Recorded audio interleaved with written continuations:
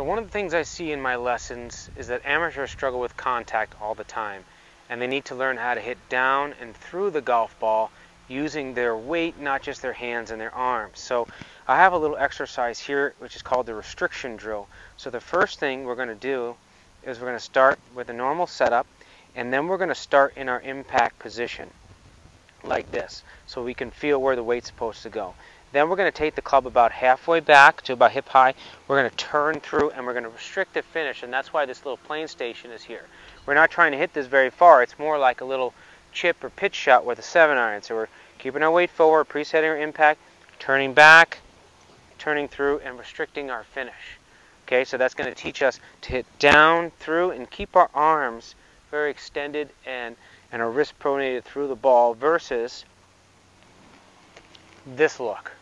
Okay, so again, start in your normal position, get in your impact position, preset it with your majority of your weight on your front side, turn the club back to about halfway, pivot through, and restrict yourself. If you hit the noodle a little bit, it's not going to hurt, it's not going to be a bad thing, but let's try it with the ball now.